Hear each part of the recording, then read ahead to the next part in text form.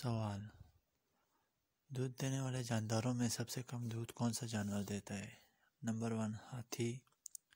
Number two, शेर। Number three, चमगादड़। और नंबर फोर, बकरी। और सही आंसर है नंबर वन, हाथी।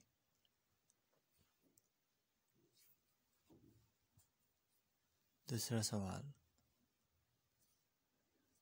किस मुल्क ने ना अभी तक पाकिस्तान को तस्लीम किया है और ना पाकिस्तान ने इसे number one India, number two America, number three Israel और number four Maldives?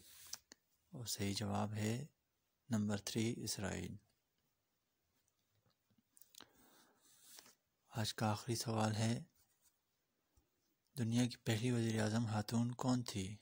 Number one Bandaranaike number two Benazir Bhutto number three Elizabeth और नंबर फोर सोनिया गांधी और सही आंसर है नंबर वन बंद्रा नाइके